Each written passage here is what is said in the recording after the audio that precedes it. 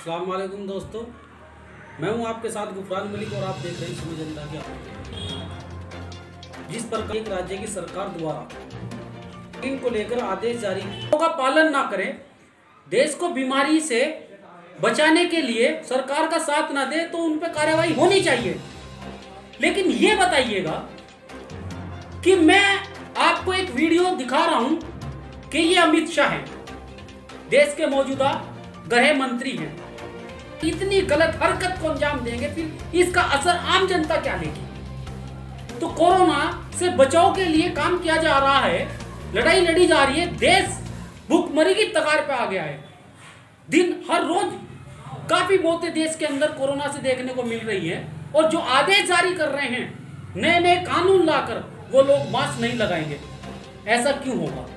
तो देश के अंदर गरिमाओं और सीमाओं की कदर करना सीखिएगा। सरकार में बैठे लोगों से मेरी अपील है कि आप लोग आदेश जारी कर रहे हैं जनता के लिए तो उसका पालन पहले आप खुद करें। और मैं भारत सरकार से अपील करता हूँ कि अमित शाह की इस हरकत पर संज्ञान लेते हुए अमित शाह के खिलाफ एफआईआर दर्ज करें। जैसे सबके खिलाफ हो रही है, मास्क न लगाने पर।